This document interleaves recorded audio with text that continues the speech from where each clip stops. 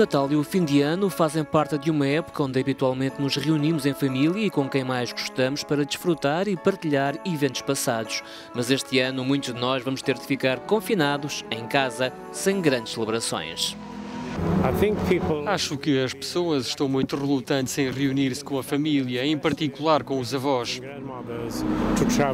Receiam viajar com eles, ir ao encontro deles, jantar com eles.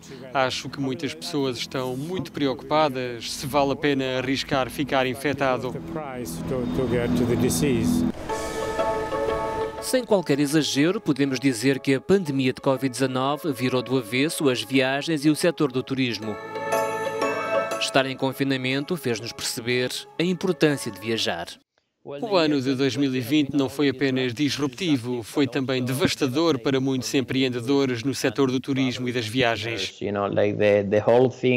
Toda esta coisa que começou como um surto chinês chegou à Europa e depois espalhou-se pelo resto do mundo.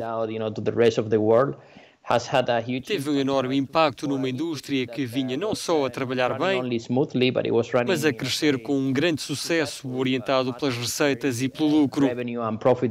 Na União Europeia, o turismo contribui com 10% do PIB e gera emprego para 26 milhões de pessoas através dos impactos direto, indireto e induzidos na economia, em particular entre os jovens, as mulheres e os imigrantes.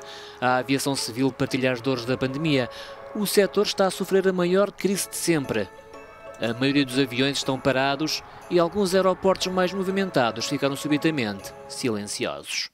A Associação Internacional de Transportes Aéreos estima perdas na ordem dos 100 mil milhões de euros. O colapso das viagens aéreas em março está agora a ameaçar a subsistência de 46 milhões de pessoas. Prefiro sempre esta dicotomia entre as autoridades de saúde e do turismo, ou se preferirem com as viagens, a mobilidade e os transportes.